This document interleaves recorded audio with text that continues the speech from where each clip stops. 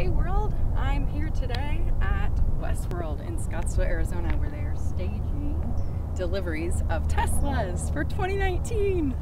Look at all these Teslas. It's very exciting. Elon Musk has delivered. He said that he would deliver all of the final orders for 2019 year end in here in Arizona. He's doing it. So congratulations to Tesla and the entire team, Elon Musk, and everybody that's that's making this happen. There's a Model X right there. So this is very exciting.